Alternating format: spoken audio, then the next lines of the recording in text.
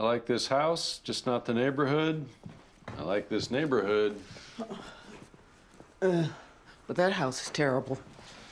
Well, we're not in any hurry. Insurance will pay for this place till the end of the year. Is that all you're taking? Just going to Arizona.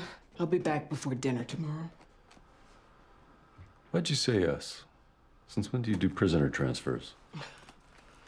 Since this prisoner refuses to testify unless I'm the one who travels him. Uh, maybe he knows he can trust you.